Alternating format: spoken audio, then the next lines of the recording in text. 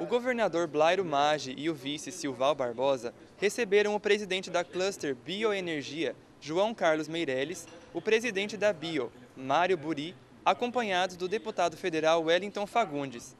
A empresa está investindo em Mato Grosso, nas cidades de Nova Chavantina, Barra do Garças e Água Boa, e deve gerar cerca de 7.200 empregos diretos e aproximadamente 20 mil indiretos na região.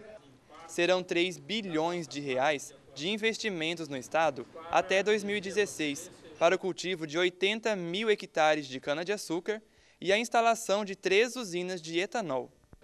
O projeto prevê total utilização do bagaço da cana, sendo que 70% será destinado para a produção de energia e o restante será aproveitado para a fabricação de ração animal e confecção de embalagens biodegradáveis.